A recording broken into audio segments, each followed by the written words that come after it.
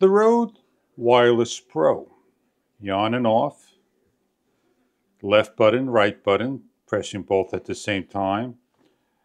If I hit the on button, a short press, nothing. Long press, nothing.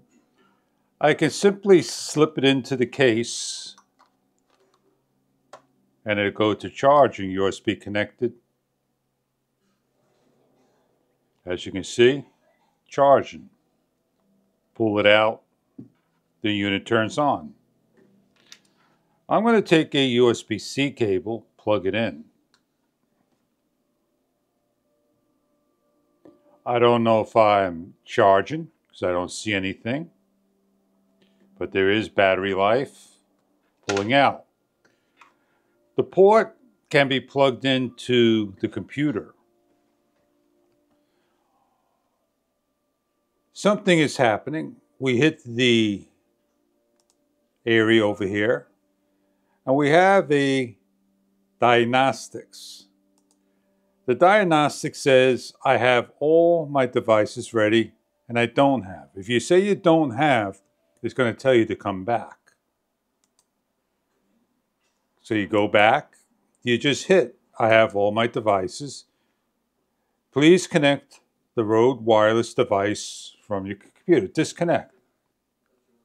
It's telling you to connect either the receiver or transmitter. Well, we're working on the receiver. It acknowledges the firmware and begin the test. It does a firmware integrity. So it says, hey, I got one, three, whatever. Then it does a test for memory and setting. Now it's asking you for the on and off.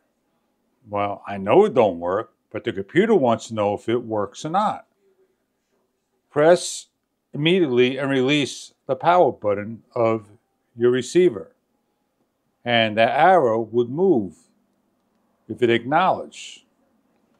So you have to come here, go, not working. I'm pressing, but nothing is happening. So do it again.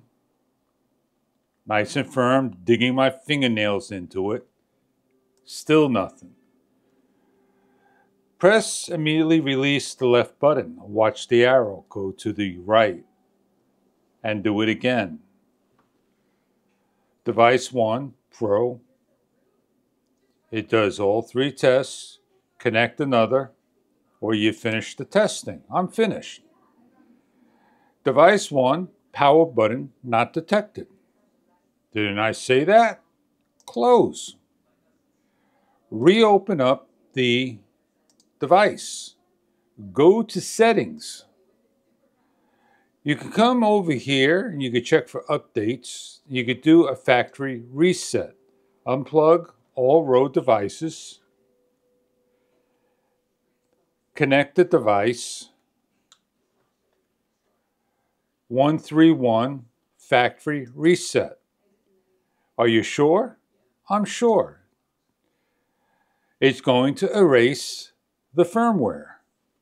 As it erases the firmware, it takes a couple of seconds to a minute or two. The device shuts off, shows the USB connection, Wireless Pro, USB connection, resetting, still shows a connection. It's loading software. Factory reset complete. Version 131. Done. You can come here. 131 is up to date. You can run the test over again. Repeat non-stop. No matter what you do, the short press doesn't turn it on or a long press turns it on. This unit has a broken Wireless Pro on-off button.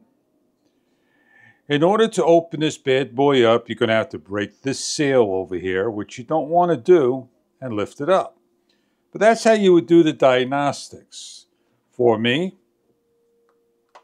simply slip it in the case, USB connected, and charging.